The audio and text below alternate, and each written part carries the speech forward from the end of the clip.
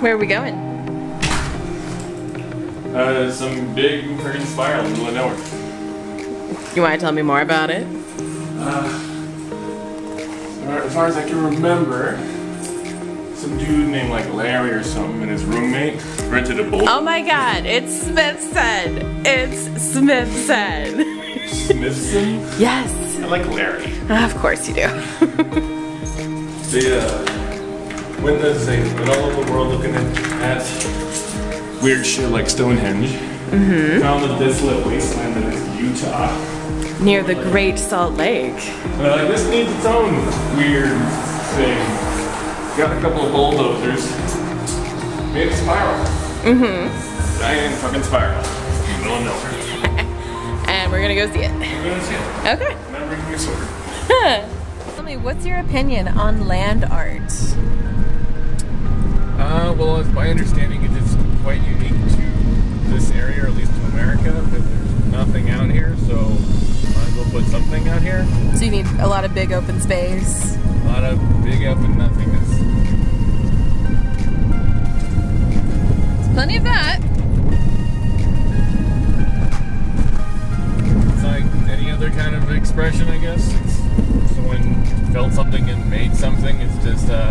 Unique because you can make it bigger than anything that ever, any painting ever really could be. And you don't have to work within city limits and standards. Yeah. Cool. But then you got to worry about wildlife and you know, weather. And, And longevity, all that kind of stuff. I feel like if you're if you're committing to land art, you're more or less committing to longevity. It's not going to be a thing. Right. There's not much, you know, unless you're going to put in several billion dollars to making sure that the spiral jetty never gets, you know, weathering done to it. It's going to eventually disappear. So you just used a bunch of construction tools and it mostly just laid out a bunch of rock, right? Yep. All right. A couple of bulldozers, front end load loaders, moved a bunch of rocks into a giant spiral. Cool. Let's go see it. Aye, aye, Captain.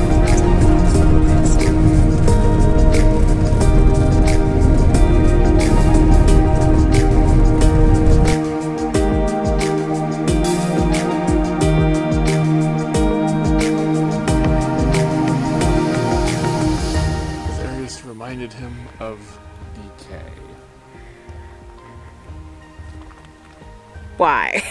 What? That's what the guy said from the artist himself. This, this area. That's right. the artist said this area reminded him of decay, and therefore he built something decaying. Equipment that's supposed to be able to travel on other planets, rather inhospitable place. Uh huh.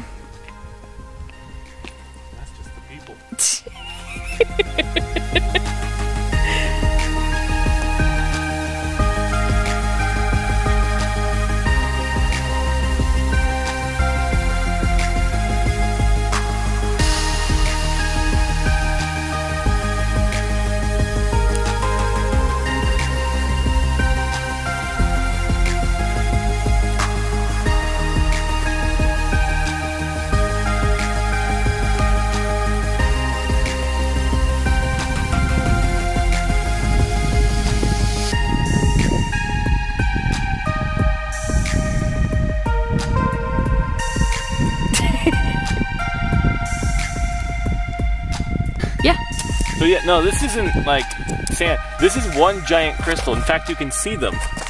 Because salt, Oh yeah, you can see them form. salt forms in giant, uh, more or less like- Structures. yeah, it forms giant crystal structures like squares and things. So you can actually see it, That's so cool. and it's all it's, it's This entire thing. yeah. If you zoom in on this, they're all perfect little squares because it's all perfectly you know, evaporated. You know, the water evaporates and the salt crystallizes into these perfect little square structures, all stacked on top of each other.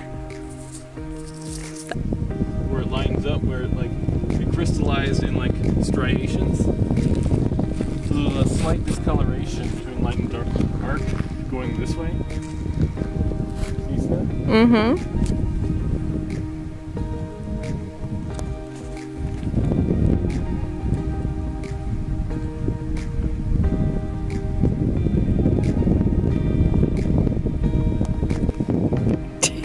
Look what you did.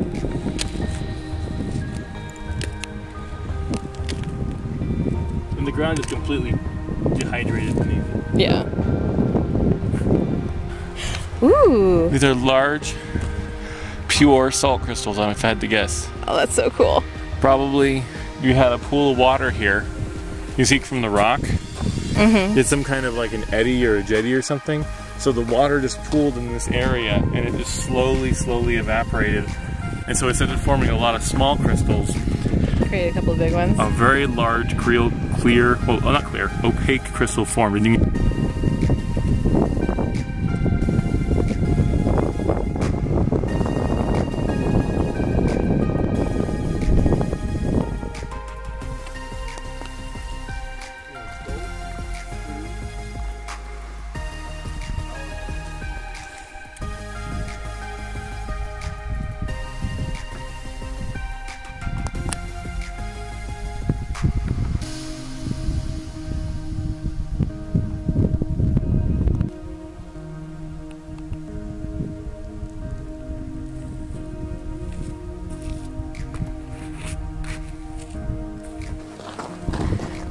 So what'd you think?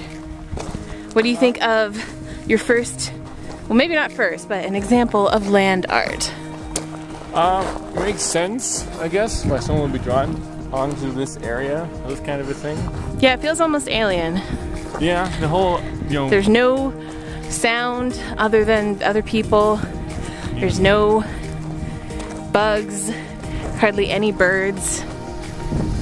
Puppies. We There's puppies, but you know, humans brought those. It's very dead, uh, to quote the artist. Place in, in decay. Yeah.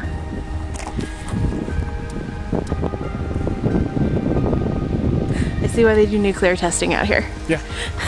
or why they wanted to. Or, yeah, definitely why they wanted to.